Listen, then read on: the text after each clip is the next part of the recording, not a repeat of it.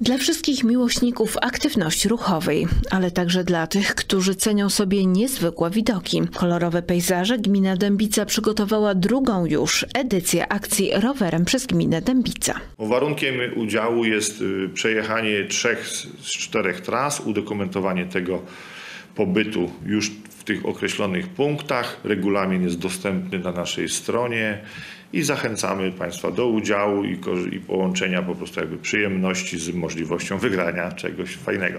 Jacek Drobot, zastępca wójta gminy Dębica, przypomina, że można wygrać atrakcyjne nagrody. Tutaj partnerem jest bardzo ważny firma Romet Arcus Group i można wygrać główne nagrody. To są dwa rowery MTB marki Romet, vouchery na basen zdrojowy w Latoszynie, wyjście na kolację, na baseny w Pustkowie Osiedlu oraz różne inne atrakcyjne gadżety. Losowanie nagród odbędzie się dwukrotnie. Pierwszy rower wraz z nagrodami dodatkowymi przewidziany jest w połowie akcji, natomiast drugi po jej zakończeniu. Akcja będzie trwała do 29 sierpnia bieżącego roku.